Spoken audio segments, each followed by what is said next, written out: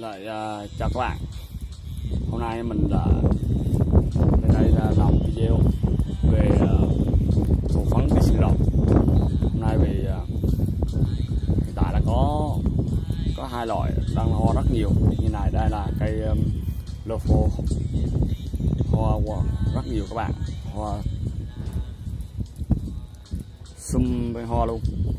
Ừ, cây này mình tháp à, tháp lên dịp lâm nó có, có nhảy nhiều chồi. Mà trên chồi với lại hoa thì mình sẽ thụ phấn. Mình thụ phấn với cây hoa này. Các bạn ha. Thì ờ, và những cây ghim. Hiện tại cũng có mấy cây ghim đang hoa nữa. Mình sẽ thụ phấn hết. Mình sẽ làm cái video hướng dẫn về thụ phấn. Về thụ phấn thì dễ các bạn ơi. Nhiều bạn ờ, là nhiều bạn nói là thụ phấn khó. Thì mình ờ, sẽ làm video chi tiết. Làm sao mà để thụ phấn cho cây đậu trái. Đa số là mình thụ phấn đến 99 phần trăm là đậu trái hết các bạn. Thì các bạn chỉ cần nó nắm nó những đơn giản thôi. Thì các bạn chỉ cần thụ phấn đúng thời điểm cây rau phun hoa. Khi đó phấn nó, nó nổi lên nhiều thì thụ sẽ sẽ dính.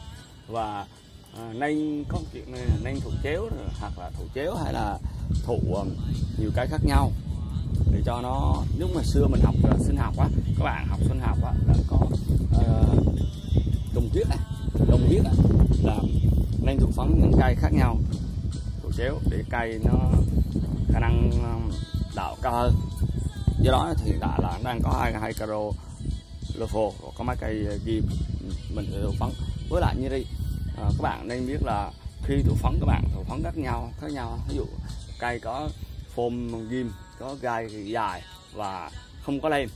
Nhưng mà cây có gai ngắn nhưng mà lem thì mình thụ phấn mình có một có, muốn có một phôm mới dòng mới là cây vừa có ghim gai dài nè vừa có màu lem.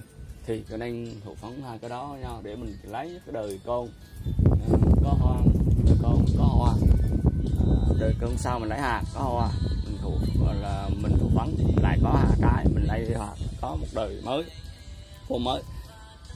Uhm, còn có một chuyện như nữa? Ví dụ như bạn á là trồng uh, xương rồng nhưng mà muốn trồng cái hạt nhưng mà không có đủ khả năng uh, uh, để mua tiền để mua hạt. Thì có một chuyện là các bạn mua cây tháp á, là nó giá nó rẻ hơn. Nhưng mà cây tháp có một chuyện là nó lại ra ra hoa đời ra hoa nhiều nhiều hơn, hoa nó to hơn và nhiều bán dạng biến dạng hơn. Nên các bạn mua cây tháp về, các bạn mua cây tháp với giá rẻ, các bạn về cái thụ phấn, rồi các bạn lại lấy hoa lấy hoa, lấy hạt, các bạn kêu. Thì từ đó các bạn sẽ có một cây, gọi là cây cái hạt của chính cây của các bạn. Thì có phải là đẹp không? Có phải là đơn giản hơn, bớt không? Khỏi tốn tiền bớt không? Thì cái đó, nhưng mà cái đó mà có thời gian còn thụ phấn đơn giản rồi nếu nếu với thụ phấn bất kỳ um, cây hello um, phô ấy, thì các bạn chỉ cần có một cái cái cọ cái cọ. Rồi các bạn um, lấy phấn từ cây này qua cái phấn cái khác là các bạn hoàn thụ được rồi. Còn đối với cái ghim á thì các bạn phải có nhiều ví dụ cái ghim mà cái hoa to á, thì các bạn um, có thể uh, dùng bằng cọ hoặc là hoa um, hoặc hoa hoa nhỏ thì các bạn dùng nhíp hoặc là các bạn có thể dùng nhíp và dùng cọ đối với ghim kim được. Nhưng mà nói đối với ghim những cây mà hoa nhỏ nữa không xòe ra thì các bạn nên dùng kéo hoặc dùng dao chi đó bắn để mình cắt cái lá cái cái cánh của cây của cánh đi để mình dễ thụ phấn hơn. Bây giờ mình sẽ thụ phấn cây um, đầu tiên mình sẽ thụ phấn cây uh, lô hồ cho bạn xem nha. Um, đầu tiên mình sẽ lấy dùng cái cọ này này mình um, mình thở, thở, thở vô cây phần à, bên này nữa. Bên này nữa. Mình lấy phấn đó các bạn. Và mình sẽ thụ qua cái này. À, cái này có hai hoa. Các bạn đơn giản không? Đó như đối với lô phô như đứa là đợi đến là rồi các bạn. Hoặc thì nếu các bạn sợ không dính á, thì các bạn sợ không dính á, thì các bạn có thể dùng qua cái nhíp thì để mình ờ, thực hiện có cái nhíp cho các bạn xem. Đây, các bạn có thể lái được cây lái phấn của, dùng cái nhíp, lái phấn của cây vô này. Đó, đây, các bạn thấy không? Mình lái phấn này. Và mình mình bỏ qua hoa bên này. Quạt, các bạn chỉ cần quạt một tí cái phấn thôi. Vào có thanh nhị là nó đã dính rồi các bạn, không cần phải nhiều đâu. Đơn giản các bạn. Nhiều bạn kêu khó khăn nhưng mà đơn giản các bạn. Rồi mình sẽ và nên tụ xéo mình sẽ lái phấn ở bên này. Mình thọ mình thụ qua cái này.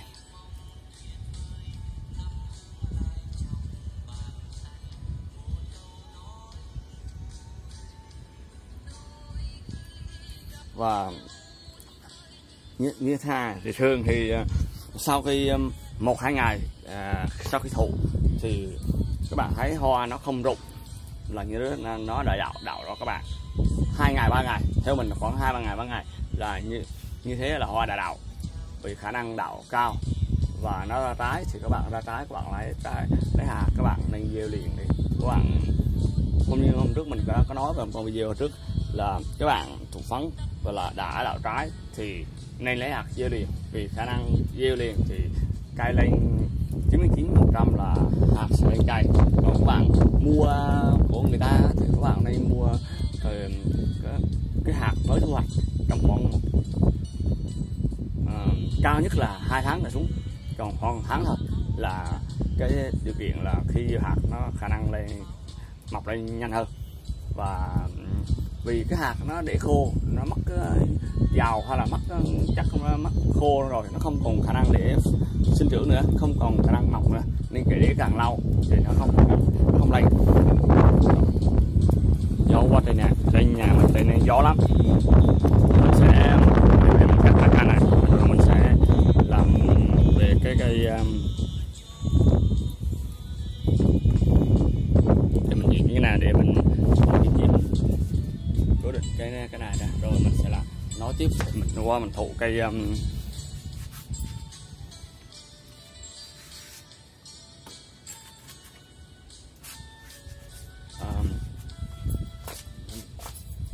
cây uh, các bạn thấy hoa cây uh, lò phô. Mình cắt hai cây lò phô đi.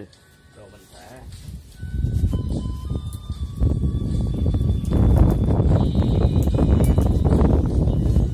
các bạn thấy gió đồng không? Rồi còn đối với cây um, đối với cây ghim á thì ví dụ như cây ghim này thì hoa nó hoa nó to thì không cần cắt các bạn sẽ dùng cái này là đủ lấy phấn được rồi đúng không? Như những cái ghim mà cái đây là cây thần long hoa tua của anh Minh Nhất anh tặng à, cây này á thì phấn nó nhiều rồi và hoa nữa phun nên các bạn thì làm đi là lấy phần phấn rồi không? còn những mà để để mình nói đối với cây những cây này ví dụ như cây này mình phải dùng mà như cây này thì mình phải dùng cái kéo để mình cắt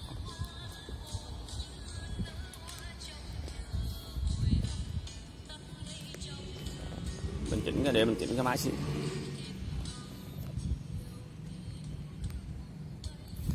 Đó, các bạn dùng dùng ờ, do lam này, mình dùng dùng các bạn các bạn dùng gì, dao gì, kéo gì cũng được miễn là nó bắn. Các bạn cắt cái viền đi.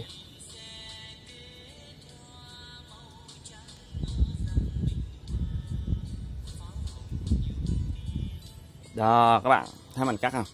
Thì có một kinh nghiệm của một người ờ, đi trước ờ, hướng nói chia sẻ với mình là các bạn nên cắt một nửa cửa này còn các bạn dùng. Đó các bạn lấy phấn. Hồi nãy mình lấy phấn lên cây này này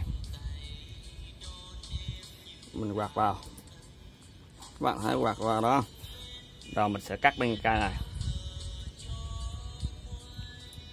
Mình sẽ cắt bên cây này cho các bạn xem.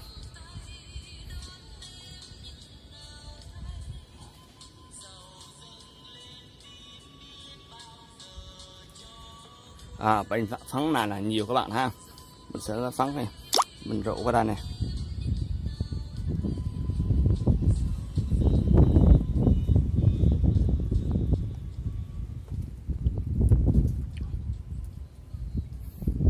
ngoài cách đó thì các bạn uh, có thể à, dùng cái nhíp đó các bạn. Mình dùng nhíp này lấy phóng bên cây này này các bạn thấy mình lấy phóng bên cây này nè rồi mình mình quạt qua quanh cây bên kia bên này thì mục đích để để tăng khả năng à, nếu mà thụ bằng à, cọ rồi thì muốn tăng khả năng cao về đậu trái nữa thì các bạn có thể làm như thế này cũng được. Đó, mình thấy à, đó, như thế là đậu rồi các bạn. Đơn giản các bạn các bạn cứ nghĩ đơn giản thôi đừng làm phức tạp.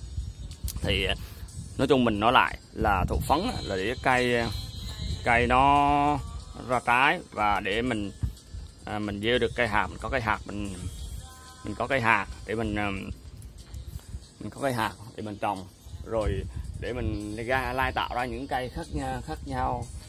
Các bạn ha. Đây là lai tạo những cây khác nhau rồi mình đem những nguồn nguồn gen mới cho cho vườn mình. Vừa giữ giống vừa đem những nguồn gen mới rồi lai tạo những cây khác nhau nói chung là nhiều lý do đó à, bạn các bạn trồng xương rồng thì bạn đi học trồng đất này hạt thóc ghép này hạt thuộc phấn này hạt tiểu hạt nói chung học đủ thứ. Học học xong mà các bạn sẽ có một cây vườn xương rồng đẹp. À, nhiều cây đẹp nhiều cây hoa. Đúng thôi. Hôm nay mình sẽ làm nói về về, về việc à, thổ phấn. Các bạn xem video mà thấy hay ấy, thì các bạn bấm, bấm like và đăng ký cho mình à, cảm ơn các bạn. Mình là Long Minh. Chào các bạn.